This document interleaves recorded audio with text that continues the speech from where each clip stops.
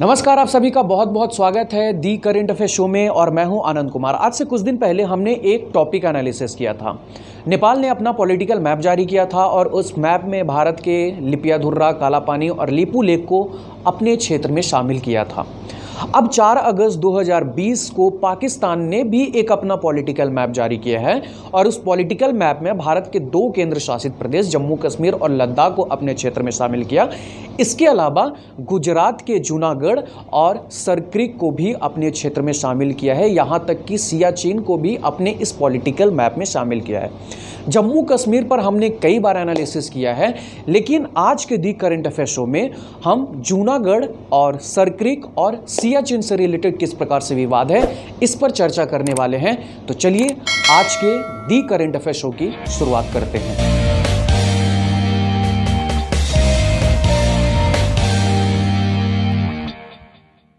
यह बात हम पहले से जानते हैं कि अगर पाकिस्तान की तरफ़ से कोई इस तरह से मैप जारी किया जाता है पॉलिटिकल मैप तो वो जम्मू कश्मीर को अपने क्षेत्र में शामिल करेगा, ही करेगा। लेकिन जो पहले से विवादित एरिया है, जिस पर अभी तक पाकिस्तान ने भी अपने पॉलिटिकल मैप में उसे शामिल नहीं किया था, चाहे वो गुजरात का जूनागढ़ का एरिया हो, चाहे वो सरक्रिक का एरिया हो जी, जो अभी तक विवादित एरिया था और पाकिस्तान भी उसको विवादित मानता था, उसे भी अब अपने पॉलिटिकल मैप में शामिल किया गया है पाकिस्तान द्वारा, जिस पर भारत की तरफ़ से कड़ी प्रतिक्रिया भी दी गई है। उसे हम ब्रीफ में एनालिसिस करेंगे, लेकिन सबसे पहले मैप की मदद से यहाँ पर समझने का प्रयास करते हैं कि आखिर पाकिस्तान ने कौन कौन से भारत के एरिया को अपने हिस्से में शामिल किया है या फिर दावा कर रहा है। तो ये पाकिस्तान का पुराना मैप है और इस मैप के अनुसार पीओके के अलावा जम्मू कश्मीर, जो कि अब दो क्षेत्रों में बढ़ चुकी है दो केंद्र शासित प्रदेशों में, जम्मू कश्मीर और लद्दाख दो केंद्र शासित प्रदेश हैं। ये दोनों केंद्र शासित प्रदेश को अब यहाँ पर पाकिस्तान अपना इसको बता रहा है और इसके अलावा एक बहुत ही महत्वपूर्ण क्षेत्र है लद्दाख में, सियाचिन ग्लेशियर। इस पर हम आगे एनालिसिस करने वाले हैं। इस पर भी पाकिस्तान अपना दावा किया है इस पॉलिटिकल मैप के ज़रिए। इसके अलावा गुजरात का दो क्षेत्र है, जो कि जूनागढ़ और इसके अलावा सरक्रिक। इन दोनों क्षेत्र को भी पाकिस्तान ने अपने इस पॉलिटिकल मैप में शामिल किया है। अगर इस मैप को आप तोड़ोगे तो ये आपका पूरा जम्मू कश्मीर का रीजन जिसमें जम्मू कश्मीर और लद्दाख और सियाचिन को पाकिस्तान ने अपने पॉलिटिकल मैप में शामिल किया है। है और ये आपका जूनागढ़ का एरिया मिलेगा, गुजरात राज्य में। इसको अपने पॉलिटिकल मैप में पाकिस्तान ने शामिल किया है। और अगर हम यहाँ पर सरक्रिक की बात करें तो ये रहा आपका गुजरात का सरक्रिक। ये एक्चुअली में हम कहें तो भारत के कच्छ प्रांत को और पाकिस्तान के सिंध प्रांत को अलग करने वाला एक पानी की लाइन है। इस पर हम विस्तार से चर्चा करेंगे आगे। तो ये सरक्रिक रीजन पर भी पाकिस्तान ने यहाँ पर अपना दावा किया है। तो इस प्रकार से चार पाँच मैप की मदद से आप समझ सकते हो कि पाकिस्तान ने किन किन क्षेत्र पर अपना दावा किया है। जैसा कि मैंने बताया, जम्मू कश्मीर के बारे में हमने बहुत बार डिस्कस किया है कि आखिर पाकिस्तान जम्मू कश्मीर पर अपना दावा क्यों करता है। लेकिन आज के इस वीडियो में हम एनालिसिस करने जा रहे हैं सियाचिन विवाद आखिर पाकिस्तान अपना दावा सियाचिन पर क्यों करता है? इसके अलावा जूनागढ़ विवाद और इसके अलावा सिरक्रिक विवाद। तो चलिए देखते हैं यहाँ सबसे पहले सियाचिन विवाद। तो चलिए यहाँ सबसे पहले समझने का प्रयास करते हैं किसे? सियाचिन विवाद को। लेकिन सबसे पहले सियाचिन विवाद को समझने से पहले हम यहाँ सियाचिन के बारे में समझते हैं। सियाचिन आपका आ जाता है कहाँ? लद्दाख केंद्र शासित प्रदेश में। सियाचिन स्थित है आपका काराकोरम श्रेणी में जो कि समुद्र तल से लगभग 5,700 मीटर की ऊंचाई पर स्थित है। अगर आप इसे फीट में कन्वर्ट कर दो तो लगभग 18,000 फीट की ऊंचाई पर स्थित है। यह दुनिया का सबसे ऊँचा युद्ध क्षेत्र माना जाता है। और अगर इसके बारे में बात करूँ तो यह दुनिया का दूसरा सबसे बड़ा ग्लेशियर माना जाता है और इसकी लंबाई लगभग 70 से 75 किलोमीटर है। ठीक?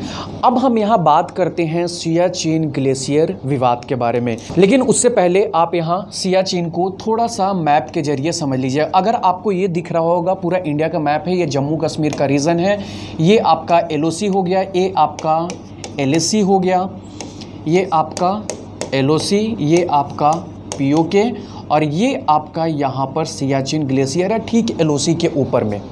ठीक? अब सियाचिन विवाद आखिर है क्या? तो जब भारत और पाकिस्तान के बीच 1971 में युद्ध हुआ था, उसके बाद 1972 में एक समझौता होता है उस समझौते को हम लोग किस समझौते के नाम से जानते हैं? शिमला समझौता।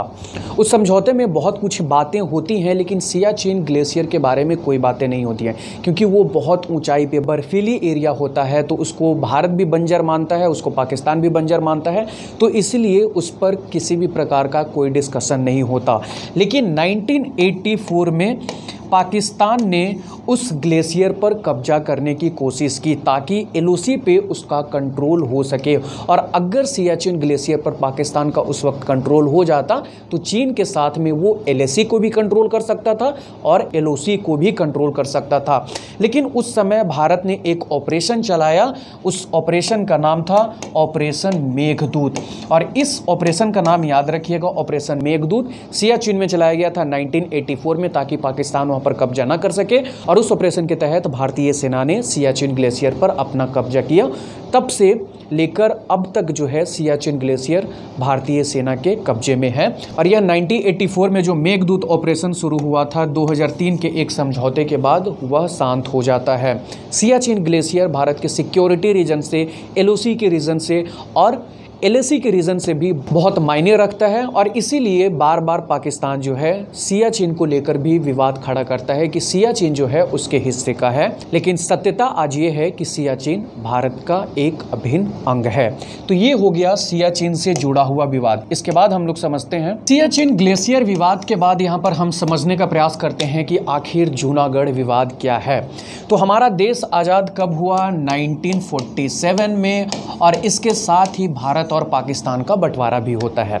तो बहुत सारी रियासतें होती हैं उस समय भारत में। तो उन लोगों के पास में तीन ऑप्शन होता है रियासतों के पास में। या तो भारत में शामिल हो जाओ, या तो पाकिस्तान में शामिल हो जाओ, या तो स्वतंत्र रहो। ब्रिटिश गवर्नमेंट की तरफ़ से ऐसा ऑप्शन रखा गया था। तो उसमें हैदराबाद, जम्मू कश्मीर या फिर जूनागढ़, ये ऐसी कुछ रियासतें थी जो स्वतंत्र रहना चाहती थी। उसमें से भी जूनागढ़ भी एक ऐसी रियासत था जो कि स्वतंत्र रहना चाहता था। लेकिन बाद में वहाँ के नवाब मोहम्मद महावत ने पाकिस्तान के साथ जाने का फ़ैसला किया। लेकिन एक बात यहाँ पर समझिएगा, वो पाकिस्तान के साथ जाने का फ़ैसला तो उन्होंने कर लिया, लेकिन जूनागढ़ में 80 प्रतिशत से ज़्यादा की आबादी जो थी वो हिंदू आबादी थी और ये सारी आबादी वहाँ पर विद्रोह करने लगती है कि हम पाकिस्तान के साथ नहीं जाएँगे, हम भारत के साथ में रहेंगे। उसके बाद जो वहाँ के महावत या नवाब थे, वो तो पाकिस्तान चले जाते हैं। उसके बाद भारतीय सरकार और सेना की मदद से जूनागढ़ में एक जनमत संग्रह करवाया जाता है। और उस जनमत संग्रह में 99 परसेंट जो वोट होता है वो भारत के पक्ष में होता है। इस प्रकार से जूनागढ़ जो है, भारत में शामिल हो जाता है। उसके बाद से लगातार पाकिस्तान जो है, जूनागढ़ को विवादित एरिया मानता है। इस आधार पे कि जो वहाँ के नवाब थे, मोहम्मद महावत, उनके आधार पे जूनागढ़ पाकिस्तान में जाने का फैसला किया था। लेकिन वहाँ की आबादी जो थी 80 परसेंट, वो चाहती थी कि वो हिंदुस्तान में रहे और लगभग निन्यानवे परसेंट तक जो वहाँ जनमत संग्रह हुआ, उस सबने हिंदुस्तान के साथ में रहने का फैसला लिया। और आज भी जो पॉलिटिकल मैप जारी करके पाकिस्तान ने जूनागढ़ को अपने हिस्से में शामिल किया है, वो उसी के आधार पे अपने में शामिल करते हैं कि जो उस समय के नवाब थे, वो पाकिस्तान के साथ रहना चाहते थे। ठीक है? तो ये हो गया सियाचिन विवाद और इसके बाद जूनागढ़ विवाद। इसके बाद हम लोग समझते हैं सरक्रिक विवाद आखिर क्या है। दोनों के कुछ इंपॉर्टेंट फैक्ट्स जो जो मैंने बताए, उन सबको आप लोग यहाँ पर ध्यान रखिएगा। सरक्रिक विवाद को समझने से पहले मैं यहाँ पर चाहता हूँ कि आप सरक्रिक का थोड़ा सा एक बार मैप देखिए और उसके बाद इसे थोड़ा सा समझने का प्रयास कीजिए। ये आपका गुजरात का कच्छ एरिया है और ये आपका पाकिस्तान का सिंध एरिया है। दोनों को विभाजित करता है ये सरक्रिक और यह एक लंबी पट्टी है, पानी की लंबी पट्टी और इसकी लंबाई जो है छियानवे किलोमीटर है। इसे बाण गंगा के नाम से भी जाना जाता है या जाना जाता था। हालाँकि ये ये मछली पालन के लिए बहुत प्रसिद्ध क्षेत्र है और इसे पहले सिर क्रिक कहा जाता था क्योंकि सिर नाम से इस क्षेत्र में एक बहुत ही प्रसिद्ध मछली पालन किया जाता था, लेकिन बाद में इसे सरक्रिक कहा गया क्योंकि एक ब्रिटिश प्रतिनिधि थे, उन्हीं के नाम पे इस क्षेत्र का नाम जो है, इस छियानवे किलोमीटर लंबे एरिया का नाम सरक्रिक रखा गया। तो आखिर ये पूरा विवाद है क्या? अब हम इसे समझने का प्रयास करते हैं। सरक्रिक जो है, आज़ादी से पहले बॉम्बे प्रेसिडेंसी का हिस्सा हुआ करता था, यानी कि 1947 से पहले। आप इसे मान लो, सिंध प्रांत भी बॉम्बे प्रेसिडेंसी का हिस्सा था और इसके अलावा जो कच्छ का एरिया था, वो भी बॉम्बे प्रेसिडेंसी का ही हिस्सा हुआ करता था। लेकिन 1947 में जब भारत और पाकिस्तान अलग हुए तो सिंध का जो प्रांत है, वो पाकिस्तान में चला गया और जो कच्छ का एरिया है, वो आपका भारत को मिला। आज़ादी से पहले अगर हम थोड़ा चलें तो कच्छ जो है, एक रियासत हुआ करता था। और उस रियासत के महाराजा जो थे, वो रौ महाराज थे।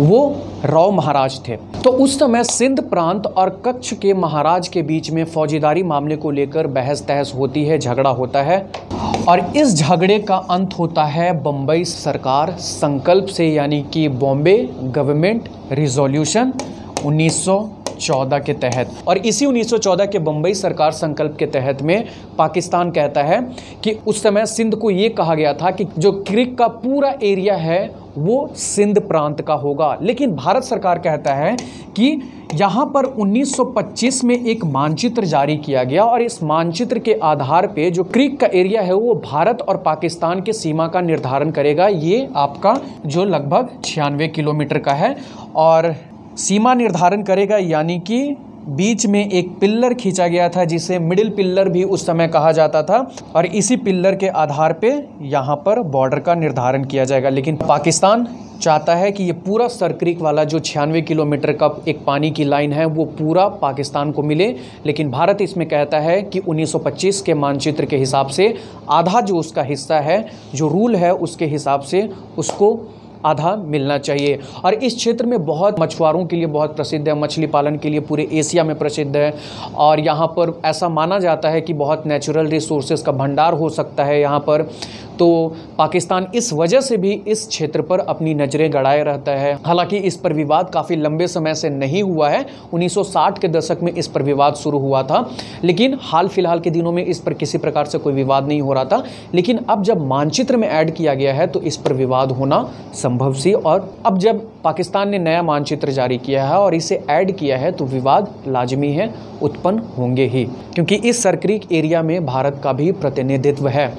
और कई बार ऐसा होता है कि भारत के जो मछुआरे हैं इस क्षेत्र में मछली पालन का काम करते हैं तो पाकिस्तान की जो नौसेना है, इनको उठाकर लेकर चली जाती है। तो इस तरह से आप कह सकते हो सियाचिन विवाद, जूनागढ़ विवाद और सरक्रिक विवाद। जम्मू कश्मीर विवाद को छोड़ दें तो ये तीन विवाद ऐसे हैं जिनके बारे में भी आपको पता होना चाहिए। तो 5 अगस्त 2019 जब जम्मू कश्मीर से थ्री सेवेंटी को रिवॉक किया गया था, उसके बाद अब 4 अगस्त 2020 को, ठीक एक साल बाद, पाकिस्तान ने पता नहीं किस माइंड सेट के साथ में इस पॉलिटिकल मैप को जारी किया है, वो खुद पाकिस्तान जाने।